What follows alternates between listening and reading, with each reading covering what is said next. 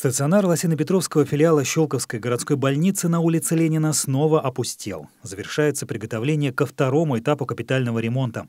На первом этапе в 2009 году в стационаре были капитально отремонтированы отделения анестезиологии и реанимации, чердачные помещения, фасад, система электро- и водоснабжения. Начинается второй этап э, капитального ремонта здания стационара в рамках программы здравоохранения Подмосковья. Планируем создать новый облик э, данного учреждения, э, приемного отделения с маршрутизацией пациентов в новом формате также э, обновленные палаты для пациентов э, с дополнительным оборудованием. Стационар сохранит свой профиль и коечный фонд в свои, но уже отремонтированные по современным стандартам медицины помещения. Вернутся отделения анестезиологии, реанимации, терапия и хирургия. Мы сейчас находимся, я так понимаю, в операционной. Расскажите, что здесь поменяется? Да, это наша э, операционная, в которой мы работали до э, начала капитального ремонта.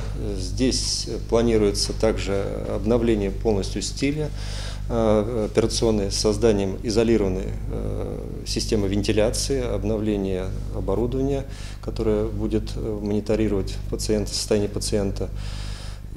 Также с освещением поработаем, чтобы было комфортно и удобно работать в этой операционной. Приемное отделение оснастят новым рентгенаппаратом на два рабочих места. Уже известно, что будет закуплена цифровая техника с высокой долей разрешения.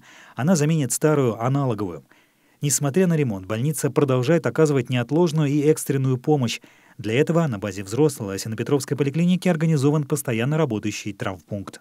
Мы э, организовали э, круглосуточный э, кабинет неотложной медицинской помощи в здании взрослой поликлиники на первом этаже, который будет функционировать с профилями терапии и хирургии, а также рентген-службой. Срок окончания ремонта – четвертый квартал 2023 года.